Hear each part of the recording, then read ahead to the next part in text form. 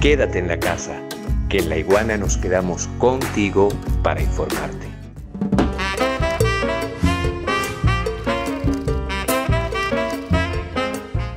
El presidente de Venezuela, Nicolás Maduro, también se pronunció sobre los resultados de este encuentro en México, de este segundo encuentro en México. Mm, y Nicolás Maduro calificó la noche de este lunes como, abro comillas, un éxito.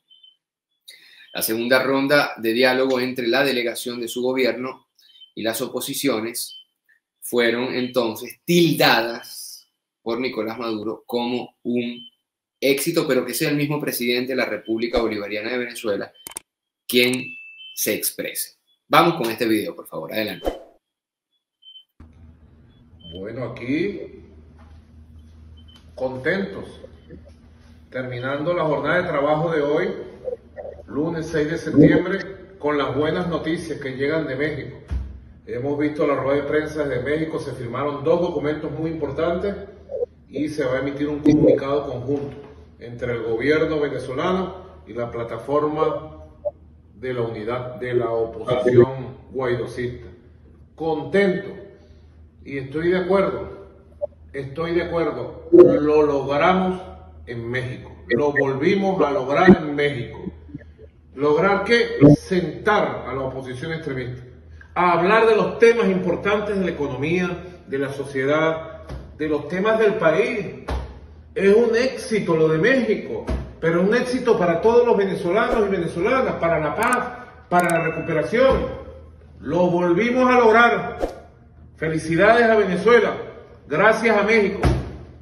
Nos vemos mañana. Palabras del presidente Nicolás Maduro. Por aquí dice Carelis Garrido, hemos resistido demasiado y nos siguen echando tierra. Pedrito Oliveros dice desde mi cuenta de Instagram, arroba MAPRESPIREL, increíble, increíble, perdón, mirar atrás y observar lo que hemos pasado y prepararnos para desafíos venideros.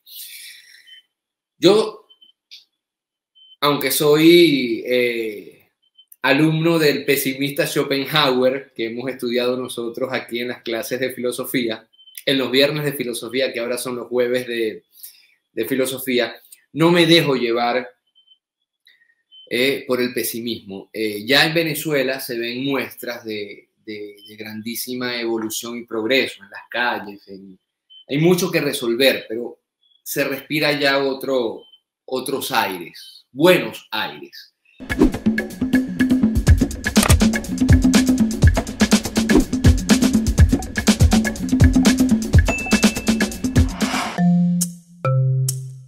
laiguana.tv.